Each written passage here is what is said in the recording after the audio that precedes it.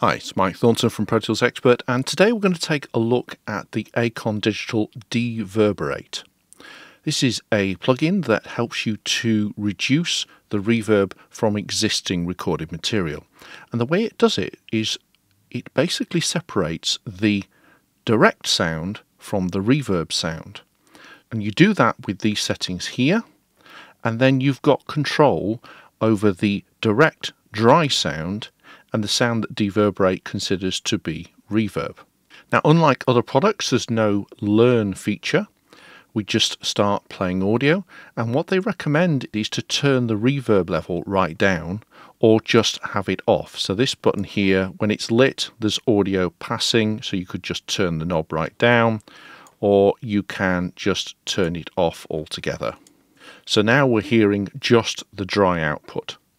And the other thing that's really important is the settings for the reverb time and the reverb level. So the reverb time you need to adjust to what you think the decay time of the reverb you're trying to reduce is. And then also the level of the reverb in the signal. So this really comes out more like a threshold control. So again, the best thing to do is to turn that right down to start with. And then there are a number of presets. So consider one of the presets that is closest to what you want to do. So in this first instance, what I want to do is to reduce the hall reverb. I'll just bypass it and you can take a listen to what we're dealing with here. Where Paul Robeson he sang, he gave concerts, uh, but during the day it was a gymnasium. So it was an interview recorded in quite a reverberant space. So we'll take the bypass off take the reverb level right down and we will start bringing this up. Uh, he sang, he gave concerts, uh, but during the day it was a gymnasium for rehabilitation for the patients because progress. You see here now that now just getting to the point where it's starting to have an impact. Where Paul Robeson he sang, he gave concerts. Uh, so if I overdo it, the day, then obviously we start to get artifacts. For rehabilitation for the patients because progress was being made now on so industrial Just check injuries, the bypass. Especially that of the mind. Where Paul Robeson, uh, he sang, he gave concerts, uh, but during the day it... There's also this emphasis filter which we can enable and disable here, so we'll have that on and you've got a low shelving filter, the red one, we've got a high shelving filter, and then we've got two parametric type equalizers, so we can create quite a complex shape. So I'm going to start playing the audio, and I'm going to play with this one because there's quite a bit of low mid reverb.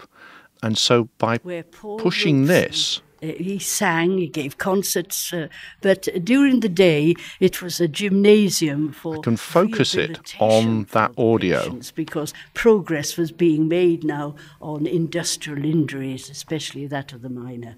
Where Paul Robeson uh, he sang, he gave concerts, uh, but during the day it was a gymnasium for rehabilitation for the patients because progress was being made now on industrial injuries, especially that of the miner. So here we are with bypass. Where Paul Robeson uh, he sang, he gave concerts, uh, but and the other thing the we can do is to adjust the spectral smoothing. So let's just bring that up a bit just to try and get rid of some of the artifacts. Uh, but during the day, it was a gymnasium for rehabilitation for the patients because progress was being made now on industrial injuries, especially that of the miner. And another feature in this plugin is the ability to use the difference monitoring.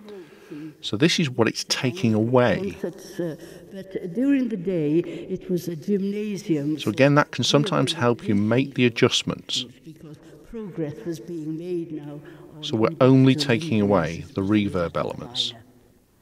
So we'll take that difference back off. Where Paul Robeson uh, he sang, he gave concerts, uh, but during the day it was a gymnasium for rehabilitation for the patients because progress was being made now on industrial injuries, especially that of the miner. So that's one example of uh, Deverberate being able to help dry up what was quite a reverberant recording. Now, the next clip I'm going to play is different. So here we've got the presets. So what I'm going to do is just reset it and we're going to select this clip and this is a very very different recording so I'll just put bypass she was born in 19, June 1923 the second of two children here with her. so it was recorded in a small church but the mic wasn't particularly close so we've got quite a lot of ambience and acoustic so what I'm going to do here is to start off with the reduce ambient preset and you can see here that the RT time is quite short. And so again, we'll just bring that reverb level down quite a lot. And we'll bring the smoothing down. So let's take a listen and see how we get on. So we'll just turn the bypass off and we'll start playing. She was born in 19, June 1923, the second of two children. Here with her older brother John. Her father died when she was young but her mother helped her pursue her. I'm just education. getting some artifacts. So let's just use the smoothing. Graduated from high school at age 14, a whiz at maths and science, but far too young to appreciate much of the literature. And just listen and to how the ambience drops. Despite her brilliance, there was never any question of her going to university.